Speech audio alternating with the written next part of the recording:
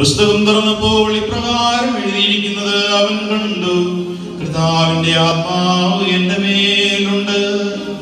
ദരിദ്രരെ സുവിശേഷം അറിയിക്കുവാൻ നിന്നെ അഭിഷേകം ചെയ്തിരിക്കുന്നു. ബന്ധിതർക്ക് മോചനവും അന്തർക്ക് കാഴ്ചയും അടിച്ചമർത്തപ്പെട്ടവർക്ക് സ്വാതന്ത്ര്യവും കർത്താവിന് സ്വീകാര്യമായ അവസരവും പ്രഖ്യാപിക്കുവാൻ അവിടുന്ന് നിന്നെ അയച്ചിരിക്കുന്നു.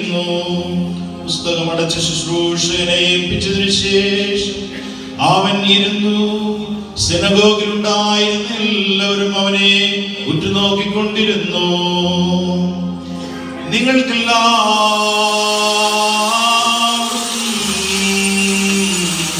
ശാന്തി തോയിക്കട്ടെ